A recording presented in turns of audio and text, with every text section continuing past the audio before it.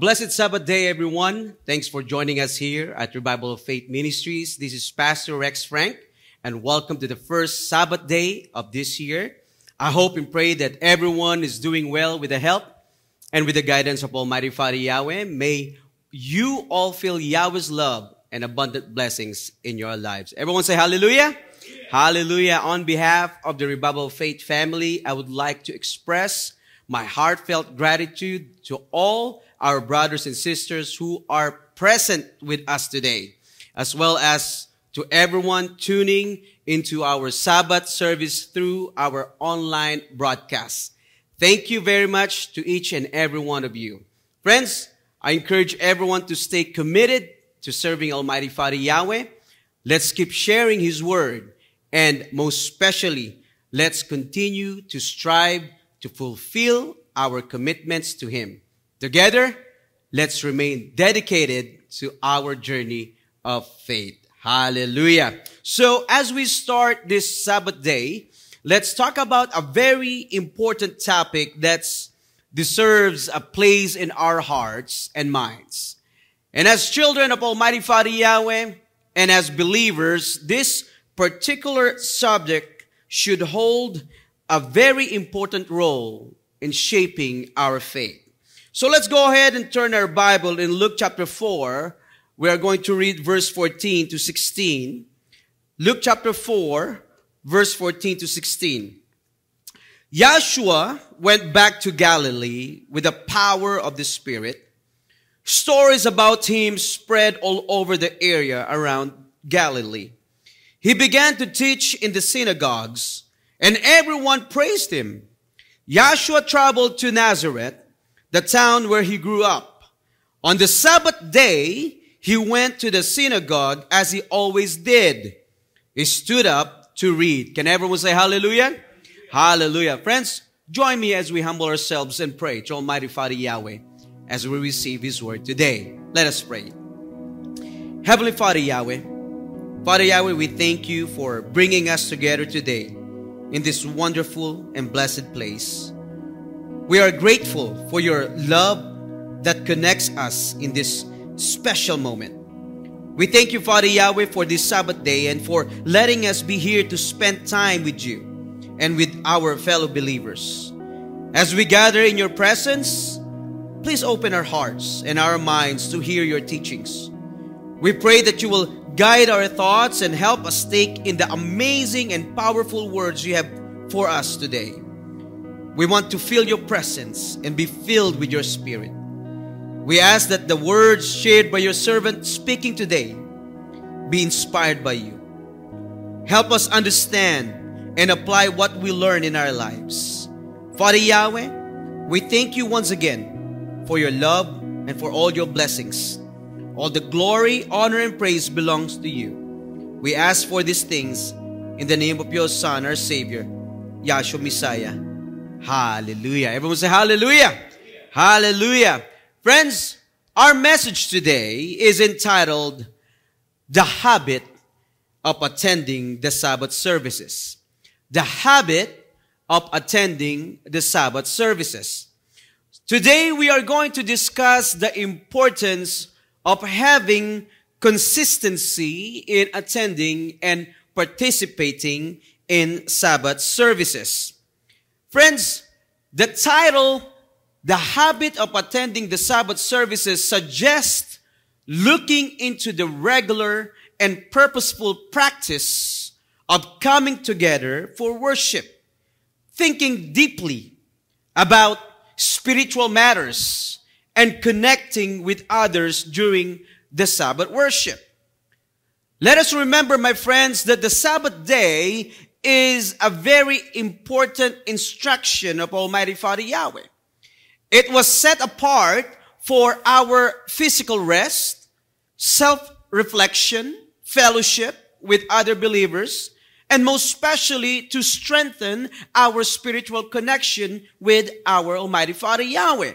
And that's why it's very important for us as Yahweh's children to understand the importance of developing a habit of attending the weekly Sabbath worship. To make it a consistent part of our lives and enrich our spiritual relationship with Almighty Father Yahweh. So let's start our message with the definition of the word habit.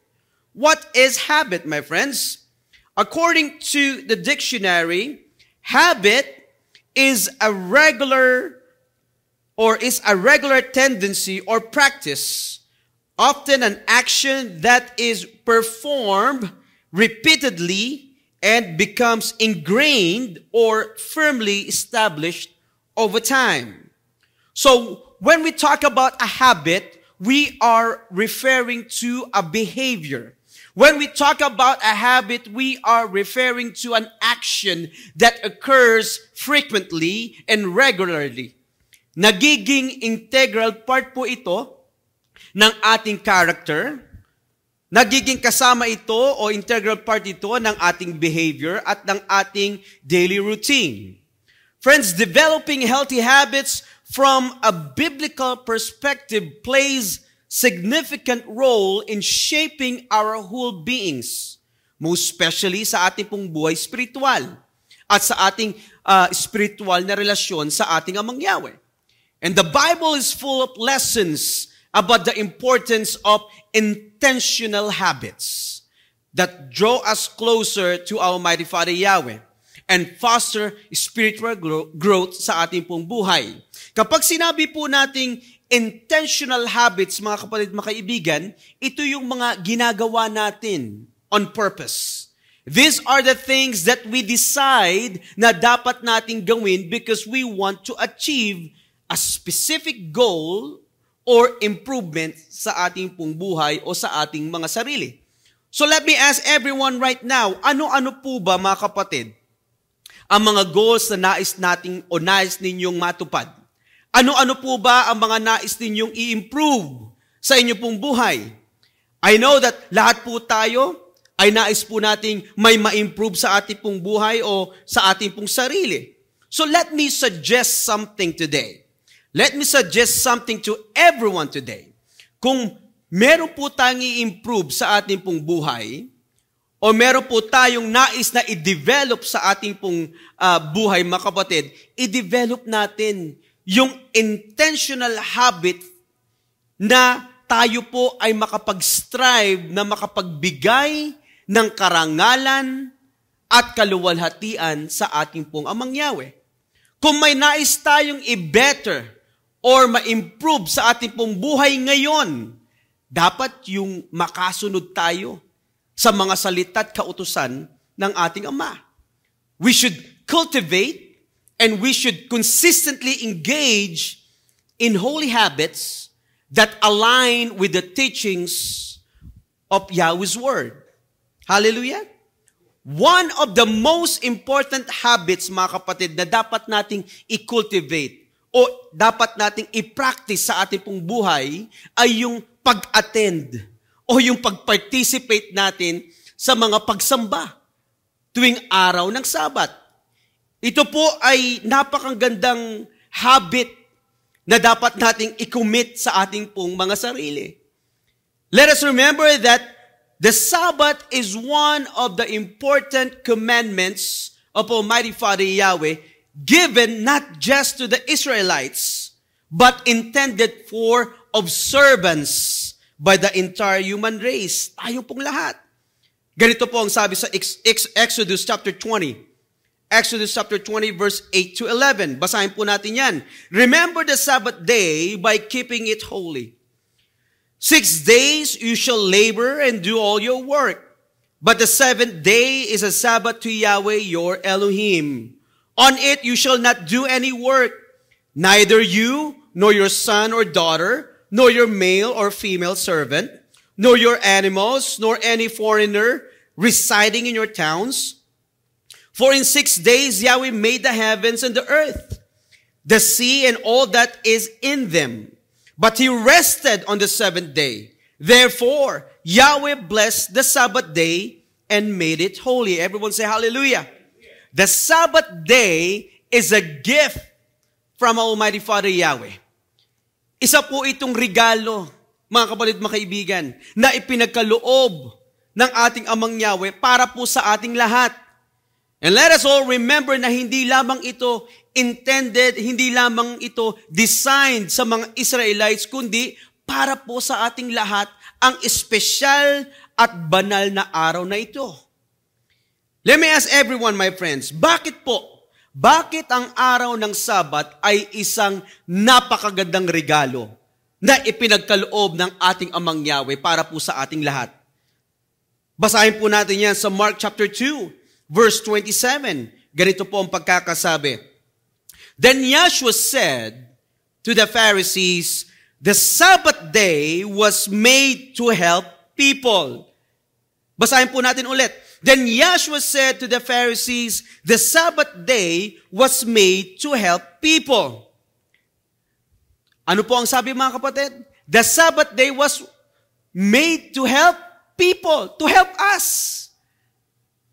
Almighty Father Yahweh established Sabbath day para po tulungan tayo. Hindi po nila lang, mga kapatid, hindi nila lang ang tao para, para tulungan ang Sabat. Hindi nila lang ang tao para, para maging mabuti ang araw ng Sabat. Ginawa po ang Sabat, mga kapatid, para po sa atin. Para tulungan tayo, para sa ikabubuti natin. Can everyone say hallelujah?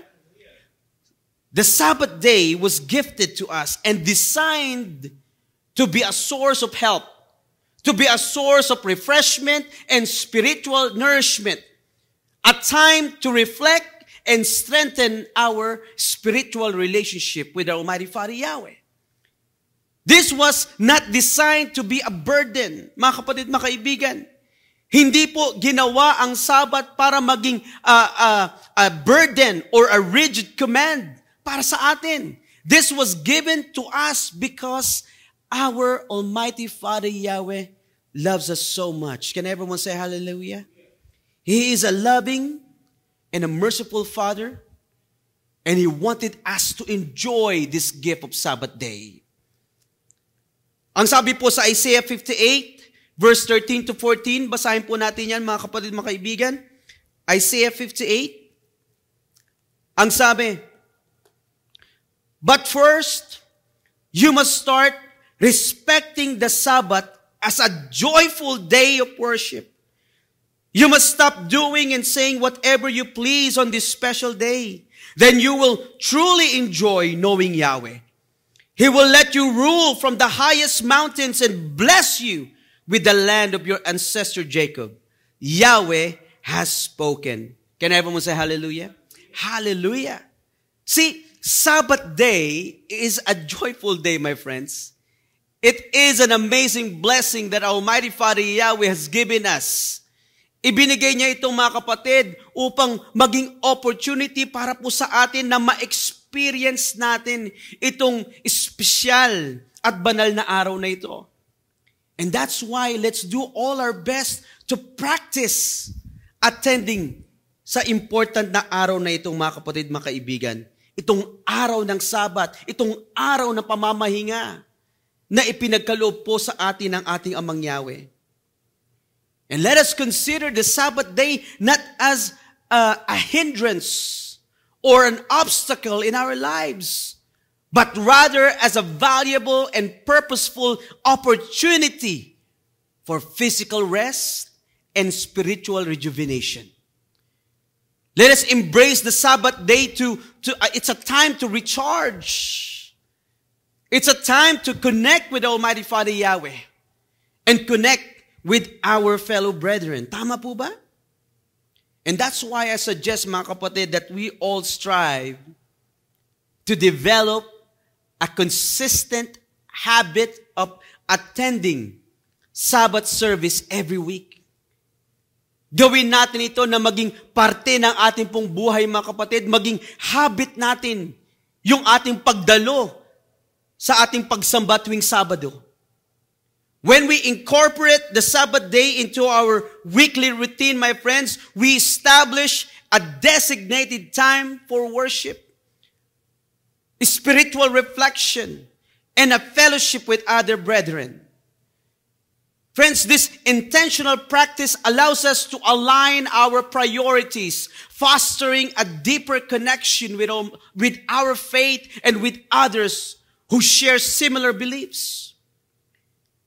Let us remember that the regular attendance at Sabbath services not only strengthen our relationship with Almighty Father Yahweh, but also contributes to the sense of community and support within our spiritual family. It becomes a source of inspiration. It becomes a source of encouragement and a foundation for more meaningful and fulfilling spiritual journey. Not just for you, not just for us, but for everyone. Ano po ang sabi ni Apostle Paul?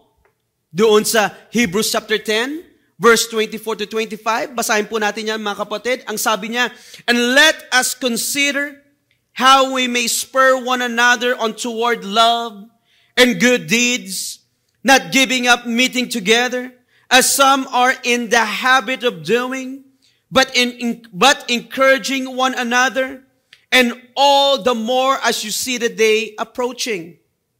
Basahin din po natin yan sa Tagalog mga kapatid, mga kaibigan. Ang sabi, at sikapin nating mahikayat ang isa't isa sa pagmamahalan at sa paggawa ng kabutihan, Huwag nating pabayaan ang mga pagtitipon natin gaya ng nakaugalianan ng ilan. Sa halip, palakasin natin ang loob ng bawat isa, lalo na na ngayoy nalalapit na ang huling araw. See, in these verses, Apostle Paul encourages believers to develop a good habit to continue meeting together, worshiping together, helping each other doon sa kanilang faith journey. Helping each other to get ready for the second coming of our Messiah Yeshua. Kaya napakahalaga mga kapatid ng pagsamba. And we are all encouraged to build a habit of attending Sabbath services. Bilang mga anak ng ating Amang Yahweh, we need to develop, we need to practice this excellent behavior. Yung pagsamba natin tuwing araw po ng Sabado. See, my friends, even our Yeshua Messiah, He showed us a very important example of developing a good habit when it comes to attending the Sabbath day. Mismo siya, mga kapatid, ipinakita niya, mismo ang ating Messiah Yeshua, mga kapatid, ipinakita niya na bilang anak ng kanyang ama, umaattend siya, sumasamba siya tuwing araw ng Sabat. Tuwing araw ng Sabado. Basahin natin muli yung nakasulat sa ating pong binasa kanina doon sa opening Bible passage natin, Luke chapter 4, verse 14 to 16. Basahin po natin ulit yon. Ang sabi, Joshua went back to Galilee with the power of the Spirit. Stories about him spread all over the area around Galilee. He began to teach in the synagogues and everyone praised him. Joshua traveled to Nazareth, the town where he grew up. On the Sabbath day, look at this, my friends. On the Sabbath day, he went to the synagogue as he always did. He stood up to read. Look at this, my friends. It is important to note that Yahshua, our, our Messiah, the Son of our Almighty Father Yahweh, made it a habit to attend the Sabbath services. Kaya kahit siya mismo, mga kapatid, alam niya yung kahalagahan ng pagsamba. And this demonstrates the significance of regular attendance and active participation in the weekly Sabbath. Alam niyo mga kapatid, the Sabbath day holds a very special place in the heart of our Messiah Yeshua. Kung ito po mga kapatid ay very important sa Kanya, kung ito po mga kapatid ang Sabat ay very significant sa Kanya, kung mahalaga ito sa Kanya mga kapatid at mahalaga ito niyang tinutupad niya ito, it should be, it should equally hold significance for all of us today. Tama po ba? And just our Messiah Yeshua is consistent and committed in attending Sabbath worship It is essential for us right now to follow the same consistency and commitment in our Sabbath attendance. Kung napakahalaga ito mga kapatid sa ating Messiah Yeshua, dapat sa ating kapanahunan ngayon bilang mga anak ng ating amang Yahweh, dapat maging mahalaga din ito sa ating buhay. Can everyone say hallelujah? Hallelujah. Now let's discuss the four important lessons from the examples of our Messiah Yeshua written in Luke chapter 4. Tignan natin mga kapatid yung apat na mahalagang lessons na mapupulot natin from Luke chapter 4. Ito yung ating uh, opening Bible passage kanina, verse 14 to 16. The first lesson, mga kapatid, that Yahshua showed us in Luke chapter 4, verse 14 to 16, ay He exhibited the importance of consistent spiritual habits.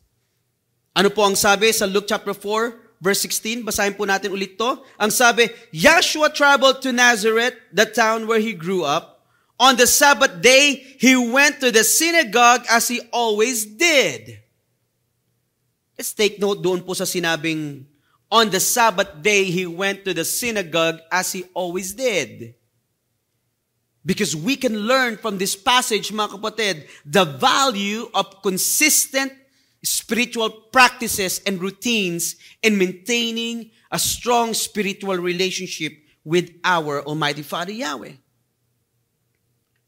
That's why I suggest that we must incorporate, let us incorporate regular spiritual practices or habits sa ating po mga buhay araw-araw. Katulad ng ipinakita sa atin ng ating Messiah Yeshua, he consistently attended Sabbath services doon po sa synagogue. And he was showing us that when we establish a regular routine of spiritual activities, we will maintain a strong and enduring spiritual connection sa ating pong Amang Yahweh. Hallelujah!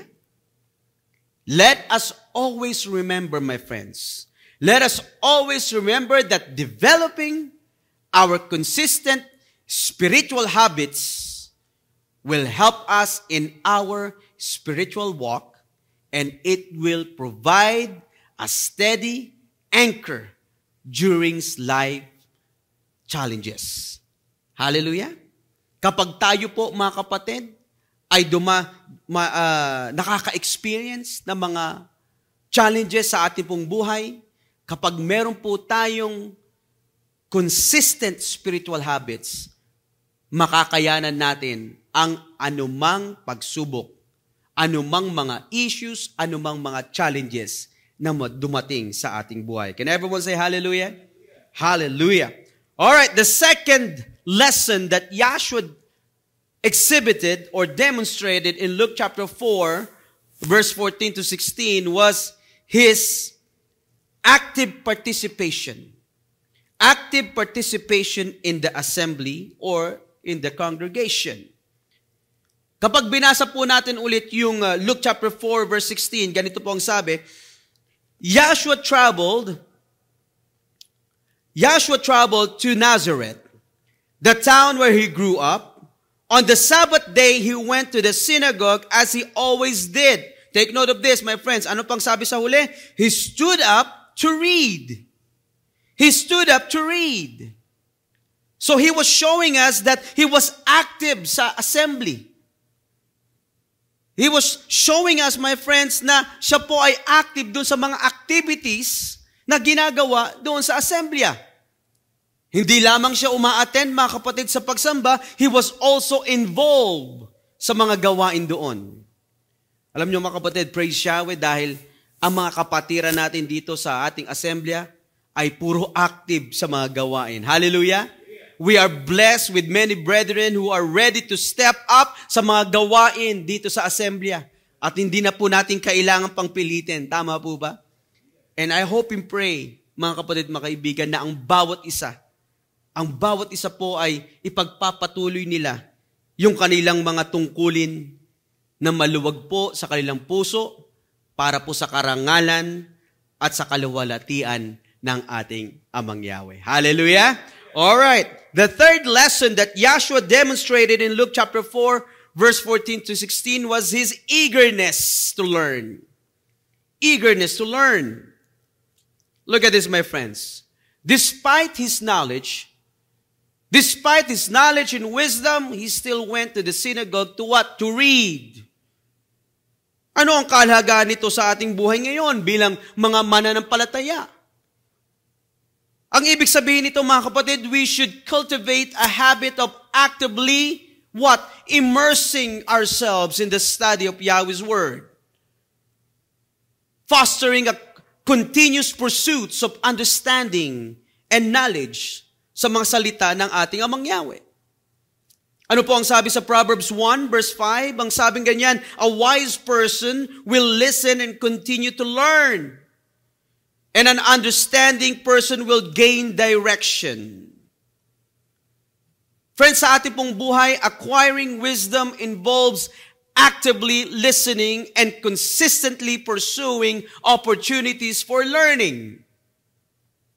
Kung nais po nating lumawak ang ating kaalaman, we must be willing to learn.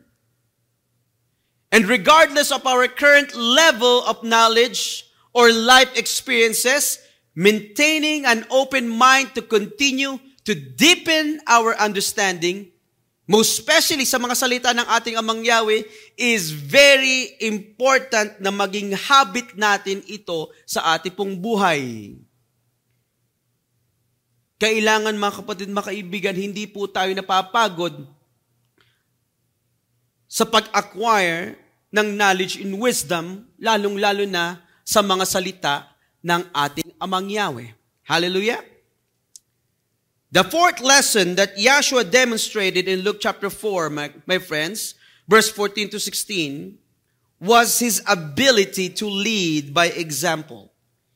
His ability to lead by example. This means that Yahshua, Yahshua Messiah exhibited a good ability to guide and inspire people by what he did, not just by what he said. His behavior in the synagogue is a great example for others to copy or learn from. Lalo na mga kapatid, yung habit na pag-attend sa pagsamba tuwing araw ng Sabad, ng Sabat o ng araw ng Sabado. Yung pagiging involved sa assembly. Hindi lang yung umaattend pero active ka doon sa mga gawain sa assembly. Ano po ang sabi sa Matthew chapter 5? Verse 16, ang sabi, In the same way, let your light shine before others, that they may see your good deeds and glorify your Father in heaven. Just like our Messiah Yeshua, my friends, we can also lead others and set examples of biblical habits sa iba po mga tao. Maaari tayong maging ehemplo sa pag-attend ng mga gawain dito po sa assembly. Maaari tayong maging example sa ating pamilya, sa ating mga kapatiran, na maging committed pa sa pagtupad ng ating mga tungkulin sa ating amang Yahweh. Lalo na yung pag-attend natin ng Sabat tuwing araw ng Sabado. Friends, kung ating pag-aaralan The apostles, as followers of our Messiah Yeshua, they also follow the teachings, the actions, and the characters of our Messiah Yeshua. The commitment to continuing Yeshua's mission played a very important role sa buhay po ng mga early believers. They kept the feeling of togetherness strong by regularly meeting, especially mga kapatid, during the Sabbath day. And this helped everyone stay connected doon po sa mission ng ating Messiah Yeshua. Ganito po ang sabi sa Acts chapter 2. Acts chapter 2 verse 42 to 44. Ang sabi, they spent their time in learning from the apostles, taking part in the fellowship and sharing in the fellowship meals and the prayers. Many miracles and wonders were been, being done through the apostles, and everyone was filled with awe. All the believers continued together in close fellowship and shared their belongings with one another. Can everyone say hallelujah?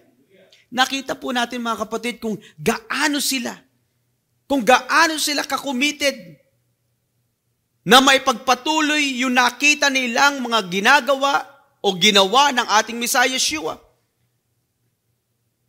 Nakita natin mga kapatid kung gaano sila kakumited doon sa mission na ibinigay sa kanila ng ating Messiah Yeshua. As believers, they were all active, participating sa lahat ng mga gawain doon po sa assembly. And their commitment, my friends, was not merely theoretical, but was translated into practical actions and a lifestyle aligned with Yahweh's word and the teachings of our Messiah Yeshua. Kasi nakita nila yung kahalagahan, mga kapatid, ng pag, pag-maintain ng strong fellowship at nakukuha nila ito, yung strong fellowship sa pag-a-attend, mga kapatid, sa mga regular Sabbath meetings. At yung kanilang regular na pagsasama-sama, mga kapatid, upang itaguyod yung mga gawain ng asembly, yun yung naging, naging lakas nila. Upang itaguyod yung mission na ipinagkalob sa kanila ng ating Messiah Yeshua.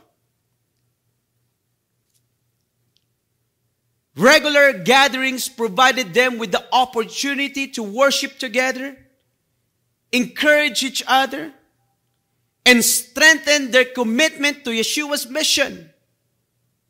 And by fostering a community like this, they were able to carry on yung mission na ipinapagawa sa kanila. Ano yung mission na yun, mga kapatid? To share the good news with other people. To baptize people. And to make disciples that will continue the mission. Kaya ganito na lang kahalaga mga kapatid yung ating pagsasama-sama tuwing araw ng Sabado. Kaya napakahalaga mga kapatid, mga kaibigan, na tayo po ay uma-attend, regular na uma-attend sa pagsamba. Because we've been entrusted to continue itong mission na ito na ibinigay ng ating Bisaya sa ating kapanahunan ngayon. Because today, my friends, we are also preparing the next generation and sharing them the habit of attending the Sabbath services para sila mismo, mga kapatid, maipagpatuloy nila yung mahalagang gawain na ito. Kung hindi po natin ito gagawin, at hindi po natin ipapakita yung kahalagahan ng pagsamba. Hindi natin ipapakita yung kahalagahan or importance of meeting regularly, then we are stopping that mission na ibinigay sa atin ng ating Messiah Yeshua. Tama po ba? Tayo pa yung nagiging daan para mahinto yung pagpapahayag ng katotohanan sa ibang mga kapatiran, sa ating pamilya, sa ibang mga tao dahil hindi po tayo uma-attend ng sabat at hindi po tayo aktibo sa pagsamba. Look at this, my friends. Missing out on Sabbath services is like disregarding a very important moment to absorb the wisdom and guidance that Yahweh offers us during those special times of worship. During the Sabbath services, mga kapatid, there is a powerful exchange of knowledge, wisdom, blessings, and guidance facilitated by the presence of Almighty Father Yahweh. Tuwing araw po yan ng Sabat, mga kapatid. And that's why when people are not active in attending Sabbath services or they neglect yung pagsamba tuwing araw ng Sabado, then they are technically missing out on something truly valuable na ibinibigay po ng ating Amang Yahweh para po sa ating lahat. Ano po ang sabi sa Proverbs 3? verse 13 to 15, ang sabi, Happy is anyone who becomes wise, who comes to have understanding. There is more profit in it than there is in silver. It is worth more to you than gold. Wisdom is more valuable than jewels. Nothing you could, nothing you could want can compare with it. Ano pong sabi? Gaining wisdom is more valuable than jewels. At wala po tayong maaaring ihalintulad o ikumpira sa pag, pag-gain ng wisdom. Look at this, my friends.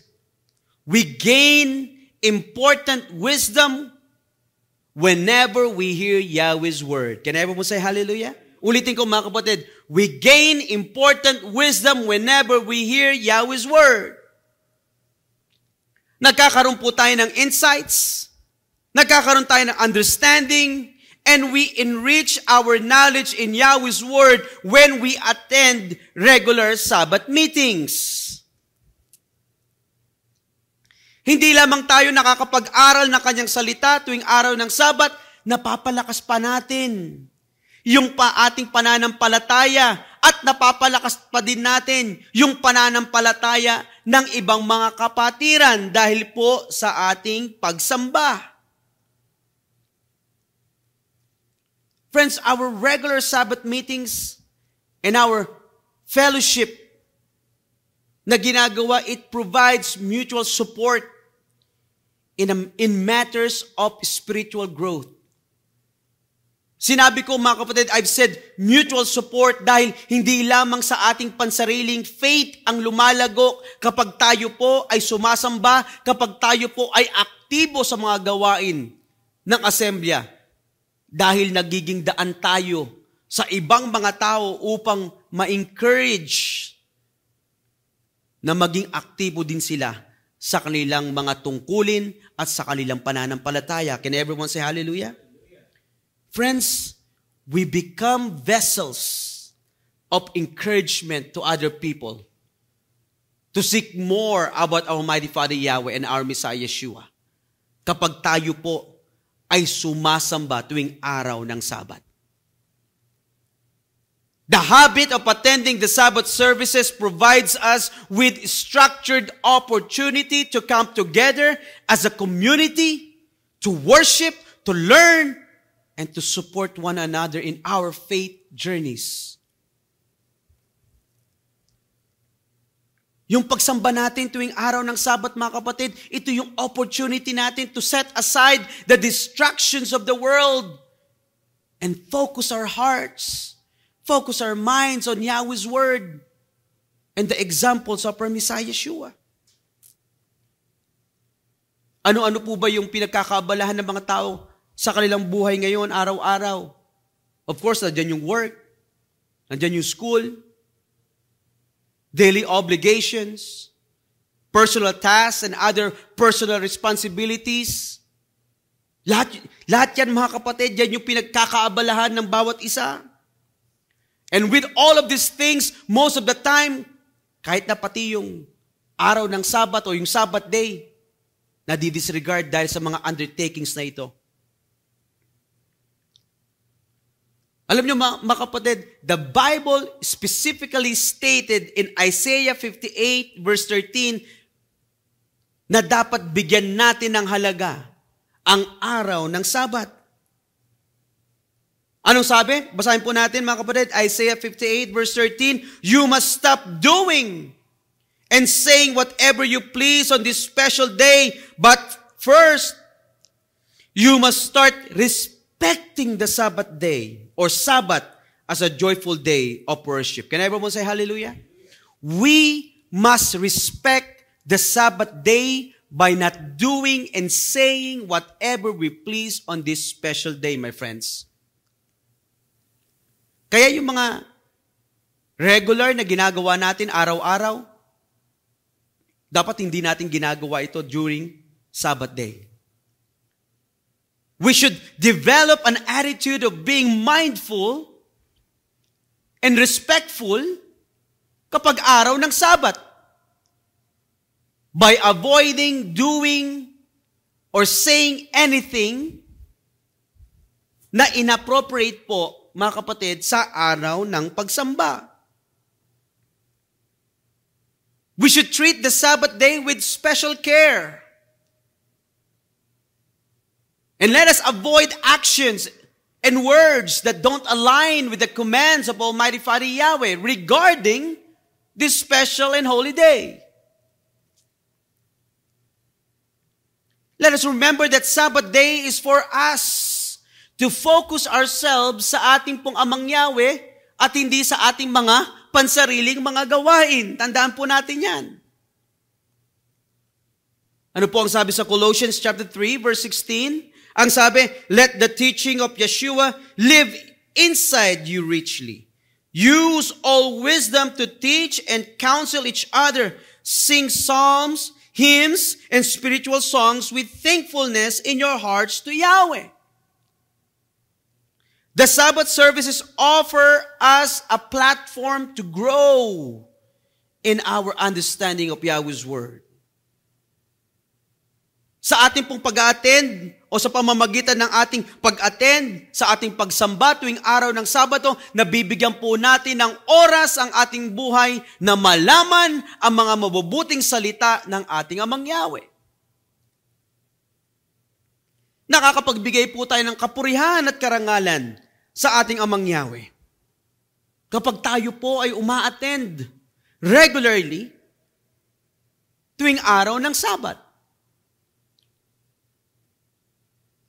When we develop the habit of attending Sabbath services, my friends, we are allowing ourselves to engage with Scripture, to listen to its teachings, and to apply its wisdom to our lives.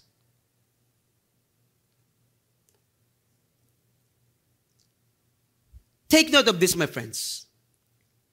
By having a habit of attending Sabbath services, we are not just fostering spiritual growth in our lives because we are also contributing faith development to our fellow believers.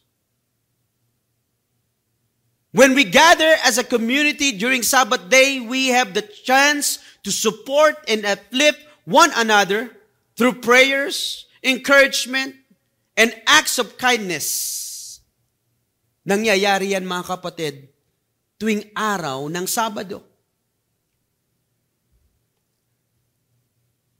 Ephesians chapter 4, verse 16, ganito pong pagkakasabi, Yahshua has put each part of the church in its right place. Each part helps other parts. This is what is needed to keep the whole body together. In this way, the whole body grows strong in love. Ano po ang sabi mga kapatid? In this way, the whole body grows strong in love. Our presence, our participation during the Sabbath services can have a profound impact on the lives of others. Sa buhay po ng ibang mga kapatiran. And let us always remember, my friends, that we've been chosen na makasama sa assembly na ito to provide a supportive environment that helps everyone not only for our own spiritual growth but for everyone's spiritual whole beings. Can everyone say hallelujah?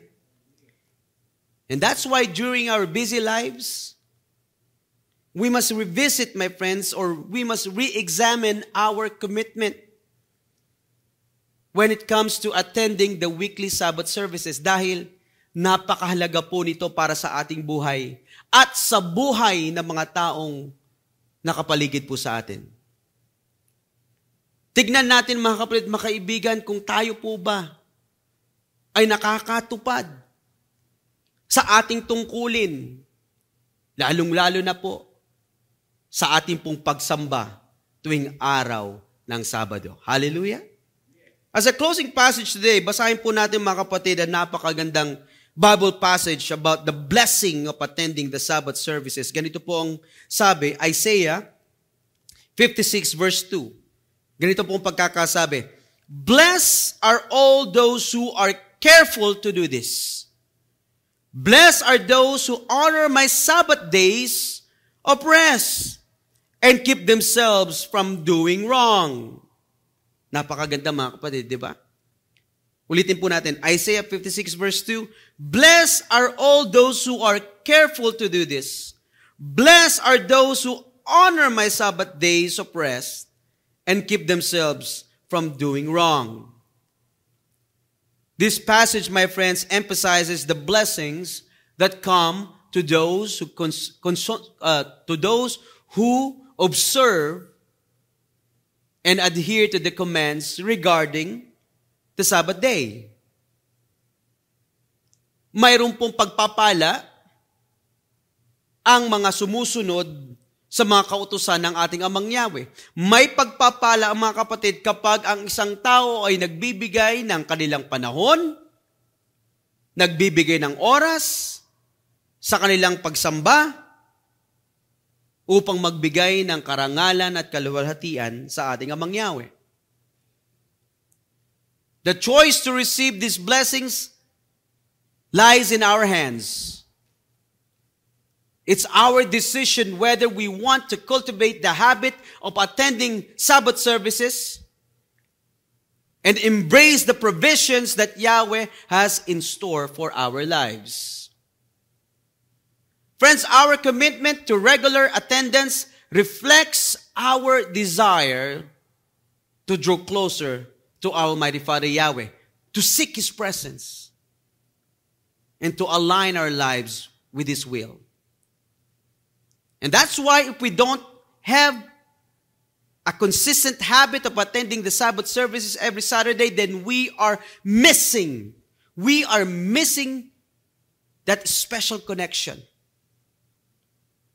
we are missing the opportunity for Him to talk to us and bless us kapag hindi po tayo nagbibigay ng ating commitment at ng ating panahon tuwing araw ng Sabat para po sa ating Amang Yahweh. In conclusion, my friends, the habit of attending the Sabbath services holds profound significance in our spiritual lives. It is a practice that mirrors the example set by our Messiah Yeshua. By committing to this habit, my friends, we open ourselves to the blessings na ibinibigay po ng ating Amang Yahweh sa ating pong buhay. When we commit ourselves to this habit na umaattend ng araw ng Sabat, mga kapatid, then we open ourselves doon sa commitment na ibinibigay o binibigay natin sa Kanya. We open ourselves to the transformative power of Yahweh's Word. And we honor the commitment or the commandment na ibinigay sa atin ng ating Amang Yahweh to rest and to worship during Sabbath day. So as we continue our journey of faith, my friends, I suggest that we all strive to cultivate the habit of attending the Sabbath services with reverence, with joy, in a spirit of unity. Let us embrace every Sabbath day as an opportunity to draw closer to Almighty Father Yahweh, to support one another, and to be refreshed in His presence. May the habit of attending the Sabbath services become a cornerstone of our spiritual lives, guiding us in our walk with Yahweh and enriching our relationship with one another. Can everyone say hallelujah? Friends, sumayin nyo nawa ang kapayapaan, ang pag-ibig at pananampalataya na nagmumula sa ating Amang Yahweh at sa ating Messiah Yeshua. Pagpalain nawa ng ating Messiah Yeshua ang lahat na nagmamahal sa Kanya ng tapat. Hallelujah! Tuma- tumayo po tayo at tayo po'y manalangin, mga kapatid, mga kaibigan. Let us pray. Heavenly Father Yahweh, Father Yahweh, we come before your presence in humility and gratitude. We thank you, Father Yahweh, for the opportunity to hear your word. May these words be planted in our hearts and in our minds. Father Yahweh, we thank you for the gift of the Sabbath and the opportunity to gather in your name. Father Yahweh, help us cultivate the habit of attending the Sabbath services with reverence, with joy, so that we may draw closer to you and find strength in our fellowship. Father Yahweh, please continue to guide us in our journey of faith. Inspire us to reflect your love and grace in all that we do. May the habit of attending Sabbath services become a source of spiritual nourishment and renewal in our lives. Father Yahweh, please provide us the wisdom to prioritize our spiritual well being and the well being of our fe- fellow brethren so that we may honor you in all aspects of our lives. We pray for your guidance and blessings as we seek to deepen our relationship with you and with one another. Once again, Father Yahweh, we thank you and we bring back all the glory and praise to your wonderful and powerful name. And we ask all of these things through your Son's name, our Savior, Yahshua Messiah. Hallelujah, hallelujah. Taas po natin ang ating kamay, mga kapatid, mga kaibigan. Let us receive Yahweh's blessings. Yavareka ka Yahweh vishmereka, Yair Yahweh panabileka vikunika. Yesa Yahweh panabileka, Vayasem, Leka, Shalom. May Yahweh bless you and keep you. May Yahweh make shine His face on you and be gracious to you. May Yahweh lift up His face unto you and give you peace. May Almighty Father Yahweh bless us all. Hallelujah.